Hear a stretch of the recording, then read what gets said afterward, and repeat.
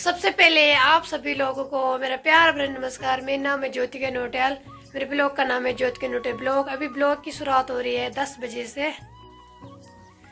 स्वागत करती हूँ आप लोगों का नेपड़ गाँव से, जो कि उत्तराखंड के उत्तरकाशी ज़िले में पड़ता है। मौसम की बात करें तो आज ना बहुत सुहानी धूप आ रखी है और हल्की हल्की हवाएँ भी चल रही है। और यहाँ पर ना टोमी भी आराम से धूप सेक रहा है। और नंदन जी ने अभी वहाँ पे कपड़े धुल रहे हैं।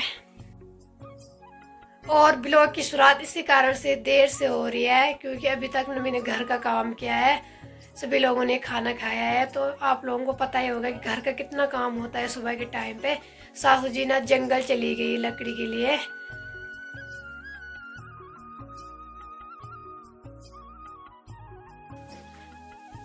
और अब मैं ऊपर वाले कमरे में जाती हूँ, देखती हूँ कि पतिदेव क्या कर रहे हैं कमरे में ऊपर।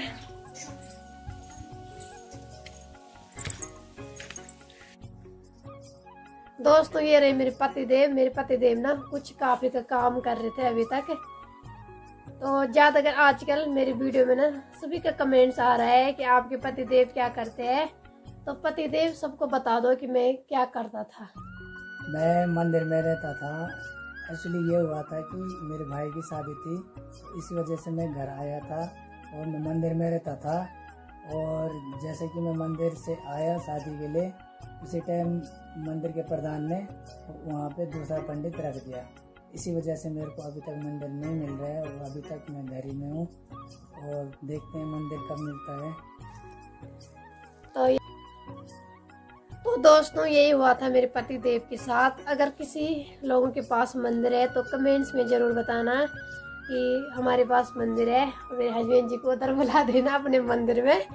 और आजकल ना, पति देव बहुत ज़्यादा टेंशन कर रहे हैं। होते हैं, हर किसी लड़के को टेंशन होती है। ऊपर से ना, इनकी टेंशन मेरे को भी होती है। नहीं होती? सभी लोगों को होती है घर वालों को होती है, सास ससुर को भी होती है। और किसी के तो दोस्तों, किसी के कमेंट्स ये भी आ रखा था कि आपके ससुर जी कहाँ रहते हैं? तो ये बता दो आप। पापा जी रहते हैं अपने ज़िले छोड़ के दूसरे ज़िले में, जैसे टीरी गढ़वाल हो गया और दूसरा जिला हुआ कहीं कहीं भी तो भगवान नागराजा का भ्रमण करते हैं इधर उधर गाँव में। यानी कि भगवान नागराजा के नाम से पैसे कमाते हैं इधर उधर, जैसे कि टीर गढ़वाल हो गया अपने जिला छोड़ के। और किसी के कमेंट्स ये भी आता है कि आप दोनों की लव मैरिज है कि अरेंज मैरिज है? तो हमारी ना अक्सर लव मैरिज है। लव मैरिज है ना हमारी मेरे को याद नहीं है। नहीं मज़ाक कर रही हूँ। हमारी लव मैरिज है।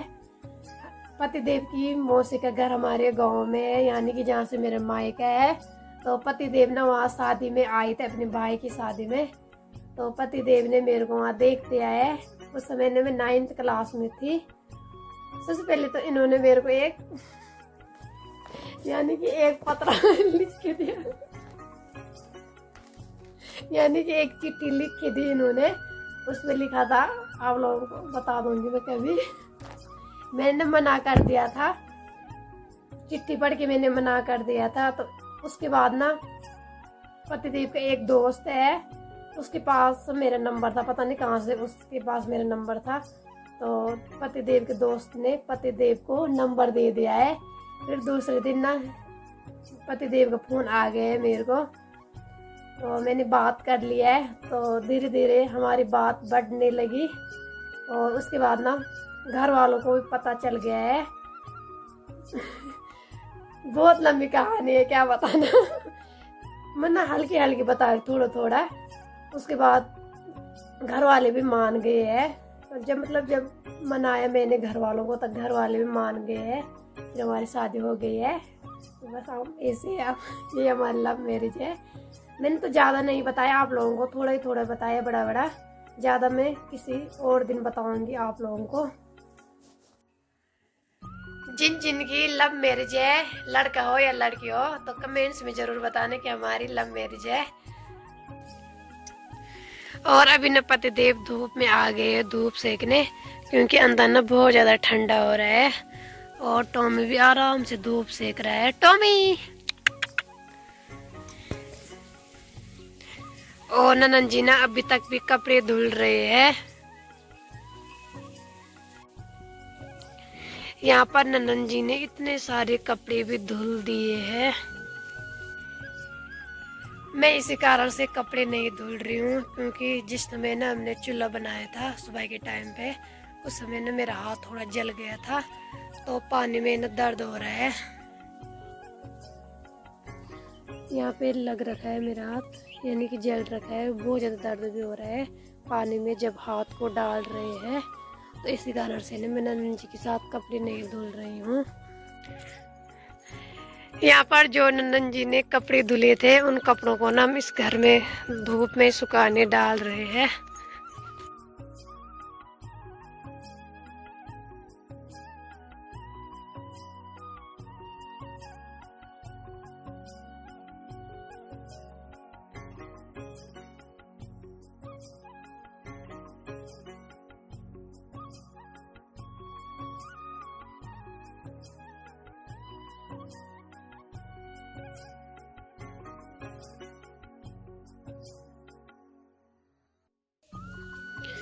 यहाँ पर अभी पतिदेव ननन जी को किताब पढ़ा रहे हैं। इस बार ना ननन जी का बोर्ड है और अट्ठाईस तारीख से बोर्ड वालों का पेपर है।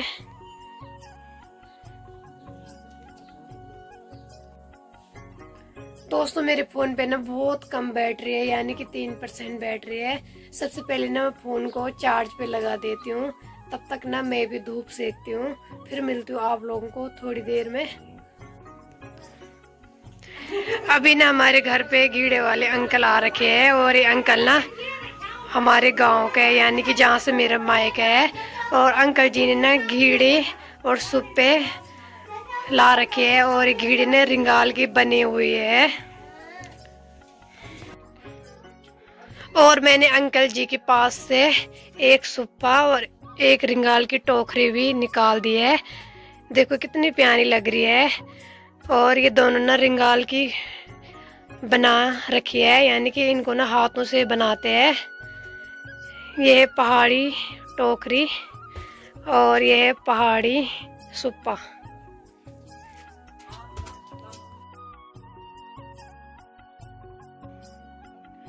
अभी ना मैं अंकल जी के लिए चाय बना रही अंकल जी का गाँव वही है, जहाँ से ना मेरा मायका है। तो मैं अंकल जी के लिए ना चाय बना रही हूँ। अंकल जी ने कहा कि थोड़ा बहुत मेरे लिए चाय बना दे। तो मैं अंकल जी के लिए ना थोड़ा चाय बना रही हूँ। तो चलिए दोस्तों, मैंने अंकल जी को चाय भी दे दी पीने के लिए। जो मैंने आगे समय कहा था कि गीड़े वाला अंकल आ रखा है। हमारे इधर ना गीड़े कहते हैं और कई जगह कंडी भी कहते हैं। और जो मैंने सुप्पा निकाला है, इस सुप्पे पे ना हम गोबर की लिपाई करेंगे। लिपाई करने से ना ये सुप्पा टूटता नहीं है। और अंकल जी ना अभी वहाँ पे चाय पी रहे हैं। उसके बाद ना अंकल जी सारे गाँव में जाएँगे कंडी लेके। और अभी हमारे घर में काना भी आ गया है। काना और ज्योति ना क्लासमेट है। और ये दोनों ना साथ में पढ़ाई कर रहे हैं। और यहाँ पर अभी देवर जी भी आ गए हैं। देवर जी कहाँ जा रखे थे अभी? कखिना। देवर जी ने गडवाल लगा रहे कि कखिना, यानी कि कहीं नहीं जा रखा था। यहाँ पर अभी अंकल जी ने चाय भी पी ली है और अंकल जी ने, और अंकल जी की तैयारी हो गई है फिर से गाँव में जाने की।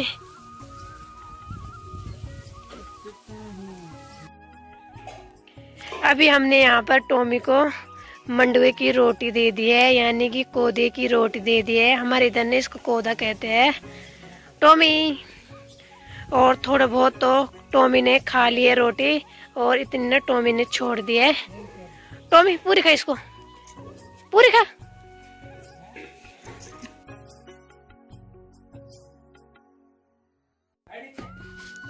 यहाँ पर अभी नंदन जी श्याम की चाय बना रहे हैं।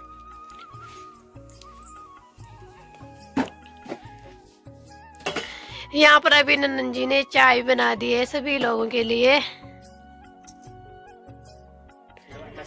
थैंक यू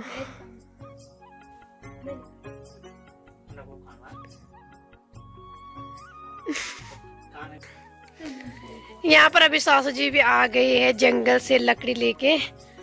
और इतनी सारी लकड़ी लाई है सासू जी ने जंगल से और ये लकड़ी ना पूरी सूखी हुई लकड़ी है।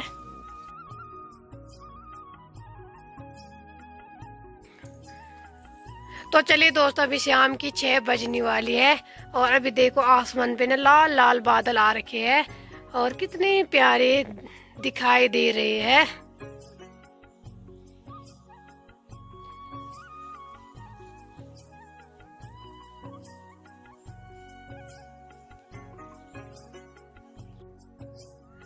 तो अब हम लोग डिनर बनाने की तैयारी करते हैं। तो आज की वीडियो को मैं यहीं पे क्लोज करती हूँ। अगर आप लोगों को मेरी वीडियो पसंद आए इसको लाइक कीजिए कमेंट्स कीजिए, अपने दोस्तों के साथ शेयर कीजिए और सब्सक्राइब ज़रूर करें। मैं मिलती हूँ अगली वीडियो के साथ। तब तक के लिए स्वस्थ रहे, मस्त रहे, अपने परिवार के साथ व्यस्त रहे। जय हिंद, जय देव उत्तराखंड।